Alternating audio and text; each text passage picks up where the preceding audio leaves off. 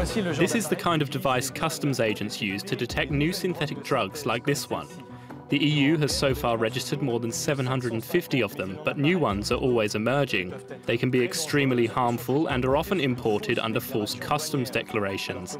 So, how can we identify and fight against this new, very dynamic drug market? That's the mission of this lab.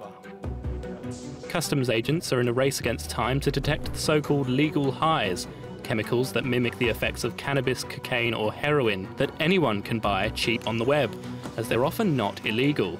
The danger is that we know very little about these molecules, often produced by labs in Asia.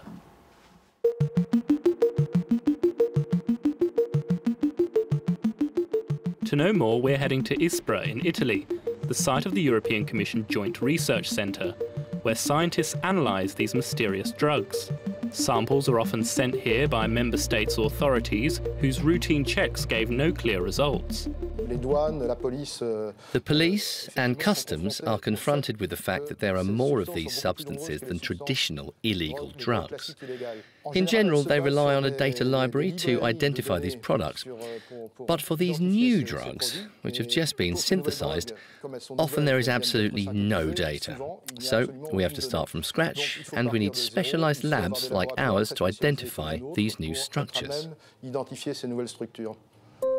The researchers' work is to compose a detailed encyclopedia of the new synthetic drugs. They first must shed light on these herbs and powders, which might have never been tested on humans before.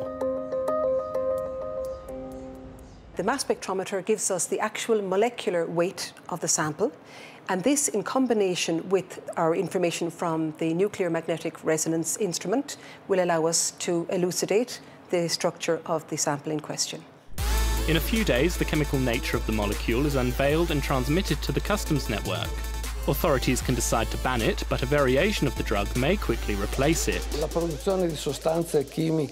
The production of psychoactive chemicals is progressing at incredible speed. We have reached two new psychoactive substances per week. We must be able to identify them very quickly.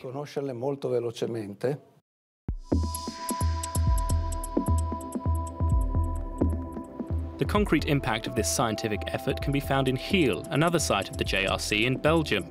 This lab develops applications for these portable instruments, which integrate all the chemical fingerprints recorded in ISPRA.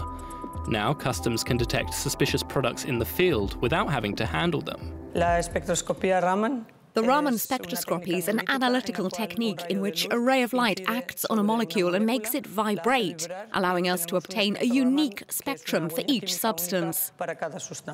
Both labs work together, and it allows them to find a solution where the chemical fingerprint of a seized substance is not in the library.